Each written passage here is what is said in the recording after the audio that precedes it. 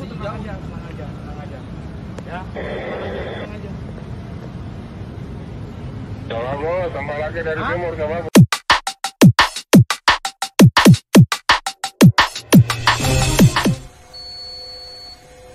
Polisi mengklaim situasi di sekitar kawasan Istana Kepresidenan saat ini kondusif usai aksi perempuan berpistol yang mencoba menerobos masuk pada hari Selasa 25 Oktober 2022 pagi hari ini.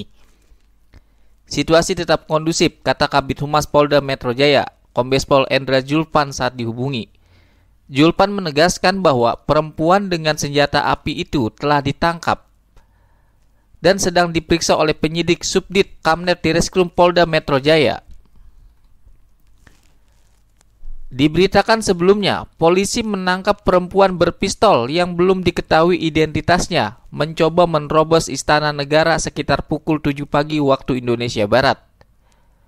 Peristiwa bermula saat anggota lalu lintas sedang bertugas menjaga dan mengatur arus lalu lintas di sekitar istana negara.